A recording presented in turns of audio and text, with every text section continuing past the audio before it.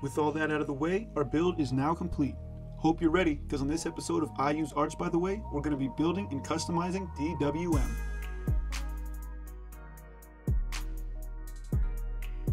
To get started, we're going to need a few dependencies.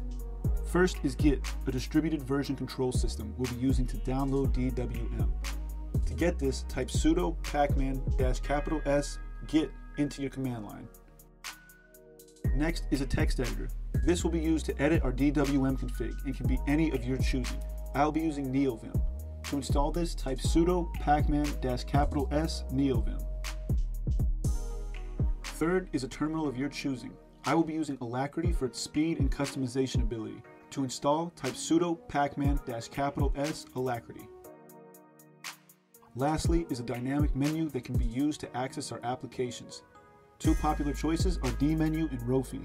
I'll be using Rofi. To install, type sudo pacman-capital S Rofi. With that complete, we're ready to get DWM set up. To start, we need to download DWM. This can be achieved by typing git clone in the link above in the terminal. Now if we type ls, which lists files in our directory, we can see a DWM folder. Type cd, then DWM in your command line to change directories into this folder. If we type ls now, we can see all the contents inside our DWM folder. Out of all the files, the only one we're concerned with is config.def.h. This is what we will edit to customize DWM. Now, if we type nvim for neovim, or whatever command is used to access your text editor, then config.def.h, we can make our first changes to DWM. To start, there are two changes I'll be making. The first one is mandatory, and that is changing the terminal editor to the one you've installed. The default terminal command is listed as term cmd. In NeoVim, we can search for this phrase by typing a forward slash, then the phrase we are searching for. As you can see, term cmd is now highlighted. If we press enter, our focus will be applied to the highlighted term. Using the H key and L key to move left and right, we need to move our focus to where it says ST. Once there, type I to enter insert mode, then delete and replace ST with your terminal editor of choice. If you followed along from earlier, then this will be Alacritty.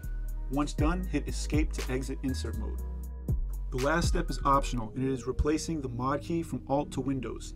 The mod key is what is used by DWM to do just about everything, so make sure you choose a key you're comfortable with.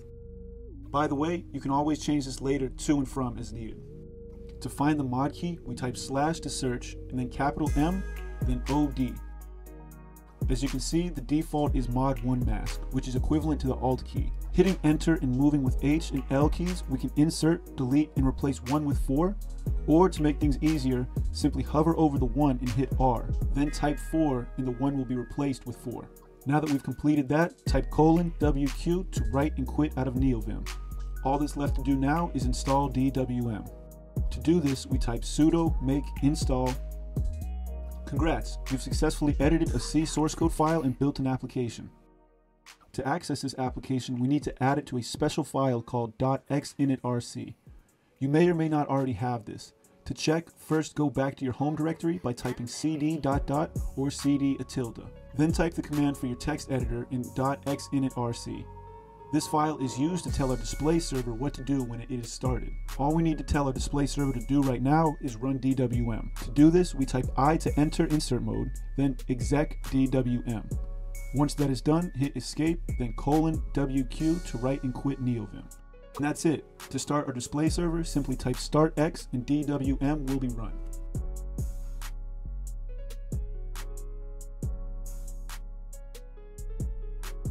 Before we get started adding commands and making DWM our own, it's important to understand the basic layout.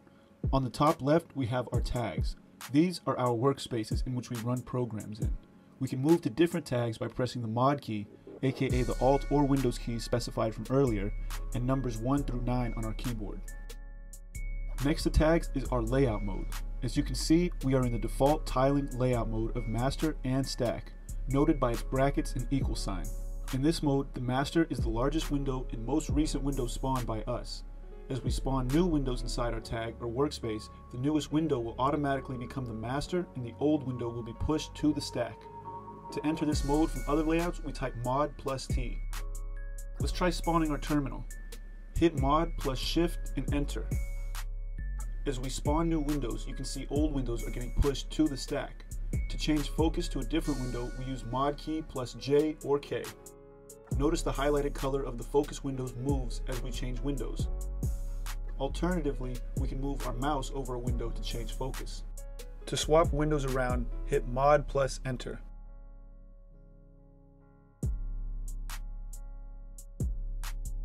There are two other default layouts that come with DWM, which are floating and monocle. Floating allows us to have a window setup similar to that of a traditional desktop environment. To access this, type mod plus F. As you can see, our layout symbol has changed. To move our window around, hold the mod key, then click and drag the window. Lastly is monocle mode. This mode will take the current focus window and make it full screen. To enter this mode, we type mod plus M.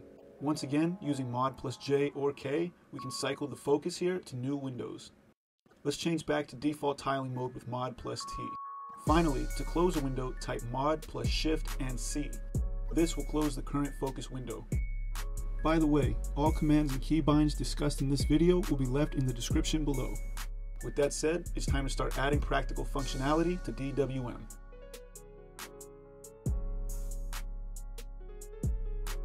To get started, cd back into the DWM folder. Notice when we list directory contents that a new file called config.h appears. This is created every time we run sudo make install. Because we are going to be adding patches and patches make changes to our config.def.h file, not config.h, it's important to delete config.h before running sudo make install again.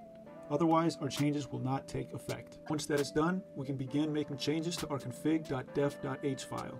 The first thing to discuss here is keybinds. We're going to be creating custom keybinds to suit our personalized needs. To start, I'm going to type slash to search in capital XK. As you can see, there is a list titled keys, all with keybinds used by DWM. If you ever get confused or forget which keybinds do what, this should be the first place to look. Now, let's break this down The first part of this line specifies the keybind. As you can see, all lines start with mod key, meaning to use these functions, we're going to be using our mod key of Alt or Windows. Next, notice that some of these have pipe and shift mask after mod key. This means in addition to hitting the mod key, we need to also be holding the shift key. After that, we have xk underscore and a key name. Without getting into the technicals, all that's needed to know is that to change our keybind from one to another, we replace the key after the underscore with our desired key. Besides the keys, we can see a function. These functions each do different things. The one we're going to use 90% of the time is spawn function. This allows us to start a program with a custom keybind. Let's try this out now. To start, let's create a function for our application menu, Rofi. If you look above keys, there's a section called commands. Notice that one of those commands are what we modified and added our terminal to. All these share the same structure. The only difference is the variable name and the arguments listed. For organization, I'm going to create a custom commands comment to separate our commands from the default ones. Using J and K to navigate up and down, let's move underneath our custom commands comment. Now, let's create a new command with a variable name of Rofi. Inside, add the following. This is the terminal command to spawn Rofi. Each argument separated by a comma represents a space in the terminal. To demonstrate this, if we open a terminal and type what we just entered, the following will be displayed. Rofi is a powerful tool with many different arguments that can be passed. For more info, I will leave a link in the description to the man pages below. Now that that's done, all we have to do is create a custom keybind for our command. Because DWM already has a keybind for a similar application, dmenu, I will simply replace the dmenu command with our new rofi command. And just like that, we've created a personalized command in DWM. To make sure we're on the same page, I'll quickly create one more custom command. I will start by copying the basic format of above commands and create a custom variable name. In the terminal, my program editor of choice is spawned by typing code.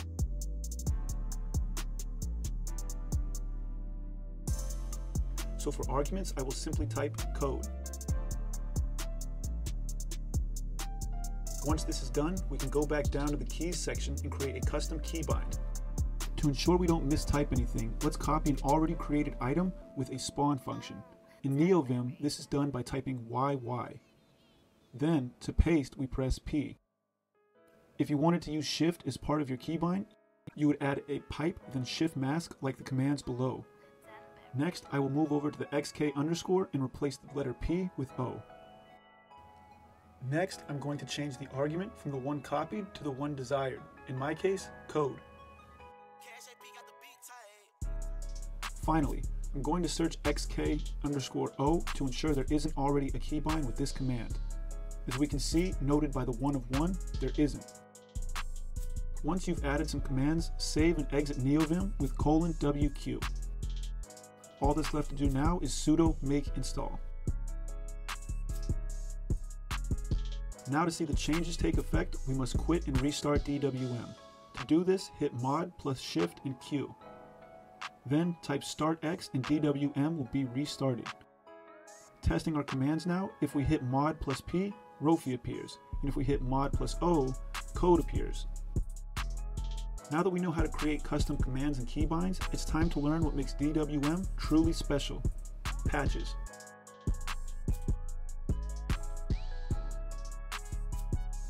In case you're wondering, patches are custom modifications created to enhance your DWM build. To view these patches, we need to head to the dwm.suckless.org. Once there, click on the tab titled Patches. If we scroll down, it becomes clear there are tons of modifications we can make to our build special to us while not having the bloat of unused patches. Because one of the most popular functions across all tiling window managers is the ability to have gaps, let's add gaps to our build. There are several patches with different gap specifications.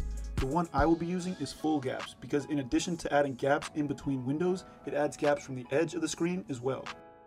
To get this, we locate and click on the patch titled Full Gaps. As you can see, there is a description and several file links. To figure out which one we should get, let's view both of them.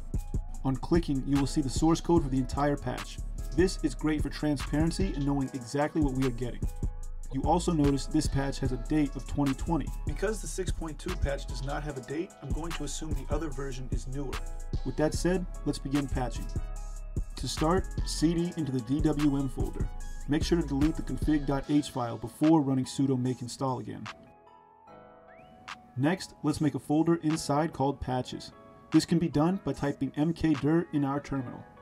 Great, now let's cd inside our newly created folder. To streamline gathering patches, we're going to need a module called wget, a tool used for retrieving content from web servers. To install, type pacman-capital S wget. Now, if we copy the link to the patch, we can download directly into our patches folder. To do this, type wget, then hit Control plus Shift plus V to paste our link into the terminal.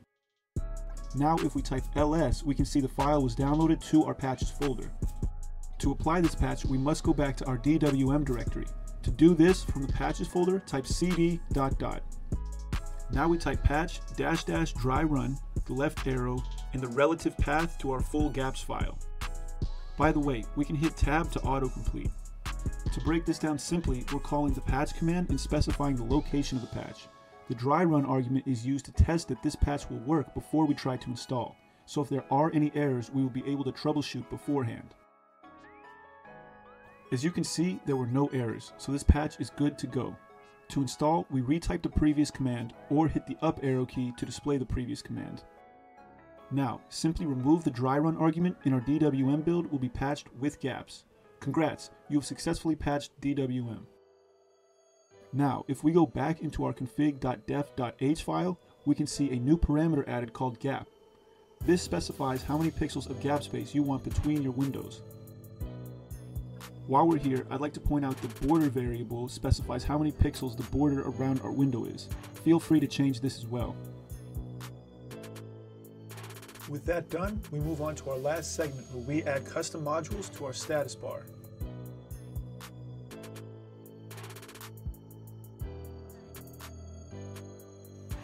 To get started, we're going to search for a program called DWM Blocks.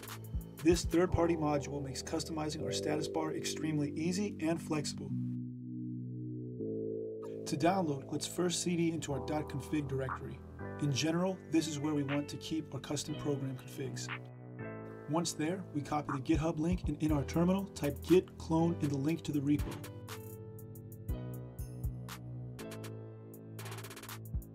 Now, Let's cd into the clone repo by typing cd dwm blocks. If we look at the directory contents, we can see that there is a blocks.def.h file. Similar to DWM, this is the only file we're concerned with. Inside, we have two list items given by default. The first item in each list is an identifier for our function. This can be an emoji or plain text as you see here. The second item is a command line argument. Similar to how we added a command for Rofi, we can add commands here that return text output to display to our screen. The third item is the update time. As you can see, the first list item will update every 30 seconds, while the second one will update every 5 seconds. The last item is update signal, which is beyond the scope of this video. But know that this does not need to be changed unless you have a specific command that requires it. Below our list items, we have the delimiter. This is the text that will be between each function. To add more functions, we can simply add a new list item with the same parameter format as above and add whatever command we want. I won't be going into custom commands for DWM blocks in this video, but if you want to copy a setup like mine, all my config files for DWM, DWM blocks, and more are on my GitHub. I'll leave a link in the description below. With that said, when done, write and quit out of the file and sudo make install. Note that this produces a blocks.h file that will need to be deleted before running sudo make install again, same as DWM. Once that is done, the last step is to add DWM blocks to our .xinitrc file. Two things to note here are one, DWM blocks is added before DWM. DWM should always be the last thing executed in your .xinitrc file. Secondly, note the AND symbol. When adding multiple commands to our file, it's important to add the AND symbol at the end of each command. Once that's done, write and quit. Now, quit DWM with Mod Shift Q and type Start X again. On start, our status bar will be updated. If you made it this far, give yourself a pat on the back because we covered a lot of information in this video. From editing C source code to modding with patches, using NeoVim shortcuts, and literally building a window manager from the ground up. However, there's still a lot to be done. Wallpapers, setting up a compositor, syntax highlighting, terminal bling to let your neighbors know you're better than them, and much, much more. So for all that, stay tuned because next Sunday, we're ricing DWM. This is Trevor Satori signing off.